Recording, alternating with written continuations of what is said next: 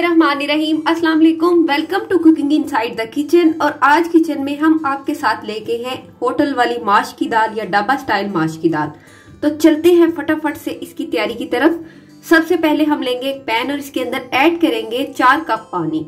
अगर आप ग्लास से शामिल करेंगे तो टू ग्लास जाएँगे। और इसके साथ हम इसके अंदर शामिल कर देंगे साबुत मसाला, जिसमें मेरे पास है बादियान के फूल दो अदद, इलायची हरी दो अदद, इसके साथ हम लेंगे लौंग दो से तीन अदद और मोटी इलायची शामिल करेंगे। दालचीनी का पीस इसके अंदर जाएगा दो इंच का टुकड़ा। और अब हम इसे कुक करेंगे दो से तीन मिनट के लिए, जब तक के इसके अंदर एक से दो जोश नहीं आ जाते। डाबा स्टाइल है तो बिल्कुल डिफरेंट सी और मज़े की दाल आपको सिखाई जाएगी माश की। तो चलते हैं माश की दाल की तैयारी की तरफ़।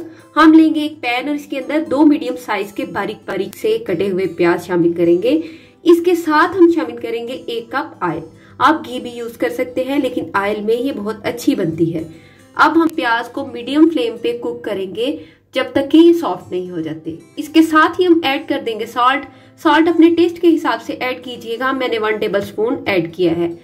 और अब हम इसे कुक करेंगे मीडियम फ्लेम पे ही, जब तक ये बिल्कुल सॉफ्ट से हो जाते हैं। इसे गोल्डन ब्राउन नहीं करेंगे। ये दो से तीन मिनट बाद बिल्कुल अच्छे से सॉफ्ट हो जाएँगे।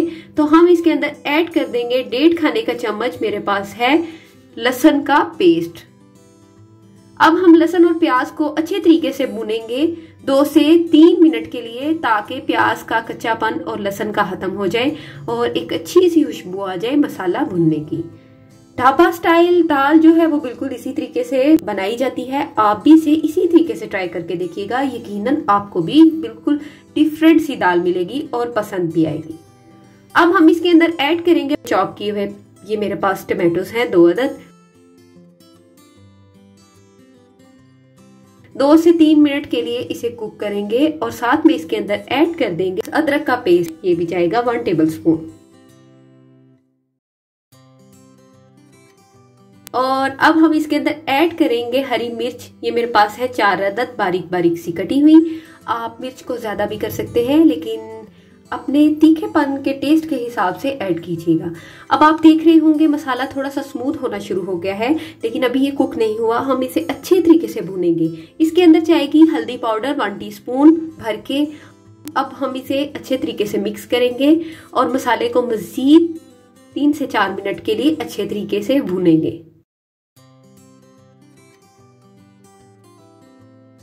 तो अब हम इसके अंदर ऐड कर रहे हैं रेड चिली पाउडर ये जाएगा वन टेबल स्पून भर के। आप इसके अंदर मिर्च भी अपने टेस्ट के हिसाब से ज़्यादा कर सकते हैं, लेकिन मैंने दो ऑलरेडी ग्रीन चिली भी शामिल की है। तो इसलिए one tablespoon red chilli शामिल करेंगे। और अब हम इसे भूनेंगे अच्छे तरीके से, जब तक के टमाटोस अच्छे तरीके से मैश नहीं हो जाते और मसाला अच्छे तरीके से भून के इसकी अच्छी सी खुशबू नहीं आना शुरू हो जाती। ये सारे प्रोसेस में मसाला भूनने के आपको लगेंगे 10 से 12 मिनट जी तो सारा काम बस मसाला भूनने का है। इसके बाद हम ऐड करेंगे ये माश की धुली हुई दाल है।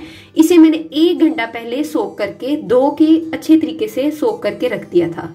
अब हम इसे इसी तरीके से ऐड कर देंगे। इसके अंदर हाफ़ कप पानी है बीगी हुई दाल में।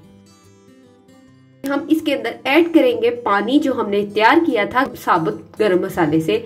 वो भी चला जाएगा तीन कप के करीब और सारा ही इसके अंदर गरम मसाला भी जाएगा। अब हम इसे कुक करेंगे मीडियम फ्लेम पे ही और कवर करके रख देंगे ढक्कन से ताकि दाल अच्छे तरीके से गल जाए।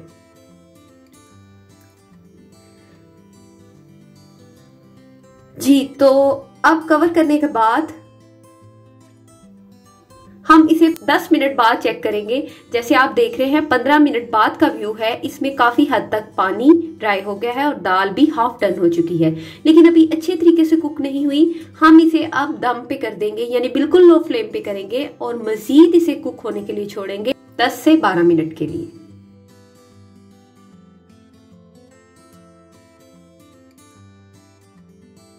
तो चलते हैं और देखते हैं 10 से 12 मिनट बाद का व्यू तो आप देख रहे होंगे, माशाल्लाह से दाल बहुत खूबसूरत तरीके से पक चुकी है और ऑयल भी सेपरेट हो चुका है। ये बड़े अच्छे तरीके से गल चुकी है और देखिए किस कदर खिली खिली सी दाल है। आप भी इसी तरीके से ट्राई कीजिएगा और जब आप दाल को भिगो के रखते हैं तो वो बड़ी अच्छे तरीके से और जल्दी से कुक हो जाती है। तो इन चीज़ों को सिर्फ़ फॉलो कीजिएगा और इस तरीके से ज़रूर इसे ट्राई करें। अब हम इसे करेंगे डिश आउट जैसे आप देख रहे हैं, मैंने इसके साथ सर्व किया है अचार और हरी मिर्च, प्याज। तो लंच में ये बहुत ही मज़े का एक लंच है। आप भी इसे ट्राई कीजिएगा। और ट्राई करने के बाद मुझे फीडबैक में बताएँ कि रेसिपी आपको कैसी लगी। लिंक को शेयर कीजिएगा अपनी फैमिली और फ्रेंड्स में। और अगर चैनल पे नए हैं तो प्लीज़ इसे सब्सक्राइब कीजिएगा। इनशाला फिर मिलेंगे एक अच्छी और नई सी रेसिपी लेके। तब तक के लिए अपनी दुआओं में याद रखिएगा। अल्लाह हाफिज।